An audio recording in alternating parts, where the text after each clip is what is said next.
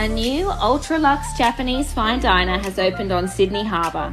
The two level glass enclosed restaurant specialises in high end kaiseki and teppanyaki. First, head to the bar for a cherry blossom mojito or start with a sake delivered in a Louis Vuitton suitcase. Guests are invited to handpick their own crystal sake glass for the evening. The 10 course kaiseki menu features some of the most premium ingredients in the world. There's a truffle chawanmushi, oyster with beluga caviar, otoro tuna, and A5 ribeye wagyu.